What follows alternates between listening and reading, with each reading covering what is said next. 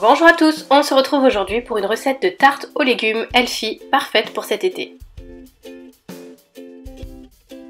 Il vous faut un rouleau de pâte brisée, des tomates, des poivrons, des courgettes, des pommes de terre, du maïs, de la crème de soja et du poivre et du sel. On commence par étaler notre pâte, on garde le fond pour euh, éviter que ça accroche. On découpe le bord pour ne pas que ça brûle et on vient tartiner notre euh, crème de soja sur le fond. On peut bien sûr aussi choisir de faire une base à la sauce tomate, ça c'est selon les goûts. On ajoute à présent nos légumes émincés. Et on replie le bord pour que la garniture ne s'échappe pas.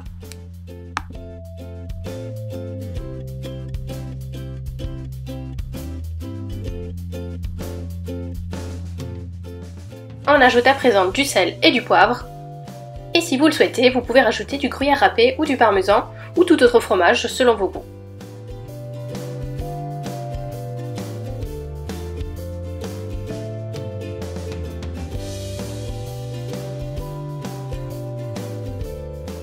Ne reste plus qu'à enfourner la tarte pour 20 minutes à 180 degrés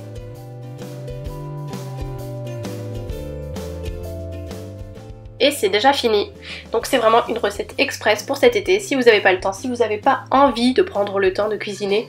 Voilà une recette vraiment très simple, très saine et vraiment très bonne.